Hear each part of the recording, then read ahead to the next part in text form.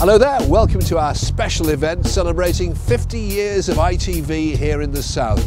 Who'd have thought it? Well, I hope you're going to enjoy our memories of a very special evening. And isn't it great to meet up with old friends and colleagues once again and find out that none of us has changed in the slightest, especially me.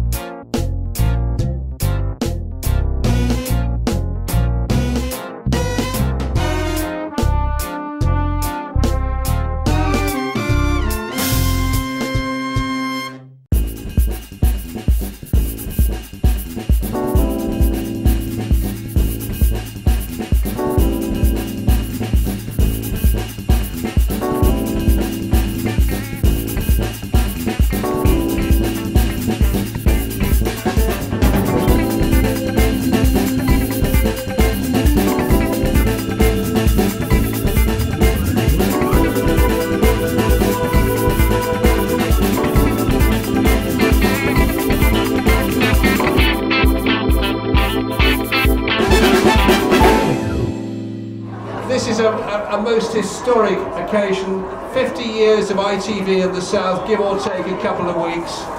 It's the kind of occasion when you can get tired and emotional, so I will.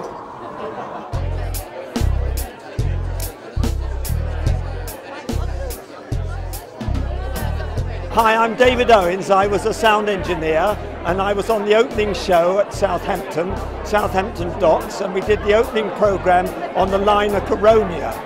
And we had Gracie Fields and we had the Lionel Blair Dancers, and it was such a great success that we had a telegram from the BBC congratulating us on it.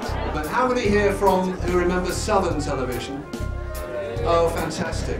Were they not very, very happy days?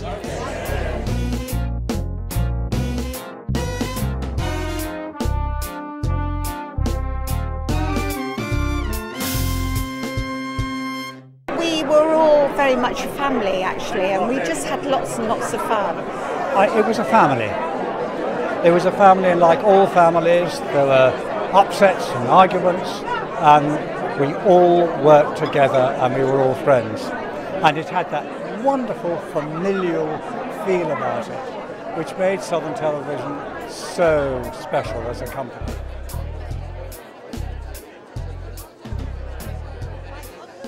We all thought it was never going to end, but sadly it did. Then along came TVS, and we weren't all that happy at the time, but TVS turned out to be a cracking company, did it not?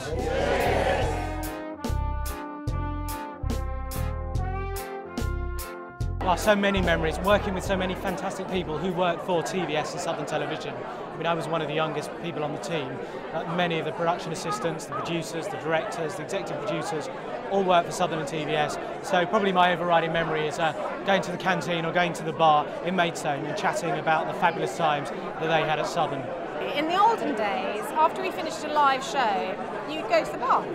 And it's not really allowed anymore, but it was really nice and a very, very friendly pushing back the boundaries of network television, developing things like the Ruth Rendell Mysteries, Catchphrase, Summertime Special, and it was just an incredibly kind of great experience, um, having come from network television in London to see what we could do on the south coast.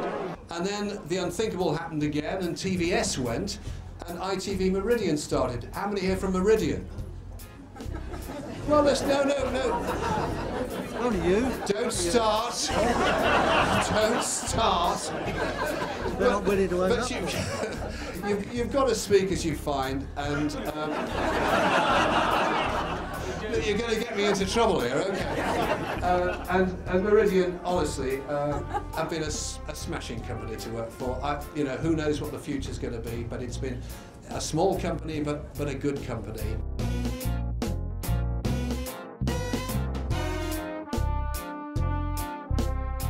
Just the excitement of being somewhere I dreamed of being. As, as a child, I used to love watching all the TV shows, and I thought, wouldn't it be exciting to, to be behind the scenes to see how it's made?